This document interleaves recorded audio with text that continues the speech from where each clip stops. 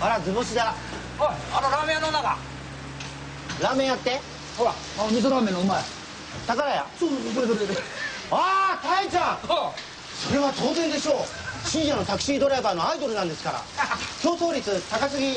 無謀なやつもいるんだよ。聞いてくれます。昨日夜中に行ったらちょうどラジオ番組であれハガキを読んでてねそれがどうもタイちゃんのねがね出したハガキらしくてね最初聞いてたら常連客のタクシードライバーのことが前からずっと好きだったって言ってねねそしてねあのね時々差し入れしてくれる笑顔のねとっても優しいタクシードライバーなんてことを言ったらばさこれは当然僕のことだと思うだよ。なんておめでたい。ところがねその後ねもうすでに付き合ってるとかね来月結婚するとか言い出すものだからレレレレレレって思ったわね。そしたら来た店に相手の男が若くて笑顔の素敵なかっこいいタクシードライバーがああ缶コーヒーのああ差し入れ持って僕はねいつもね銀座で磯辺焼き買ってるんですよ。それがね缶コーヒーに負けるなんてなんて世の中のこのすっとこの恋が差し入れで負けたわけじゃないと思うんだけど。もうなんでいつもこうなるんだ